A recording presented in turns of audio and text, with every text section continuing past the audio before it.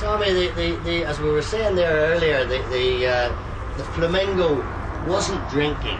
No. It was it was it was hot dogs, milk, uh, milkshakes, right. coffee, Coca Cola. That's right. Seven up. All the people That's then had That's their right. drinking before they came to the hall. That's right. Wasn't surely that the big thing about dancing in the was. sixties? People come to hear bands, but that's right. And music. Uh-huh. And publicly pick up a girl, Uh-huh. or get a girl, and then vice versa. And, but there was no such drinking and fighting and bad language. Today it's it's dance uh, it's, it's it's hotels where the drink is there until one in the morning. That's right. one in the morning.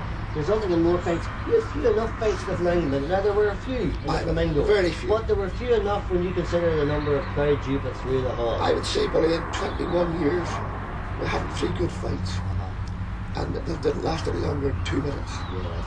And the, the boys that were in them knew the consequences. They were landed in the court or banned out the hell for life.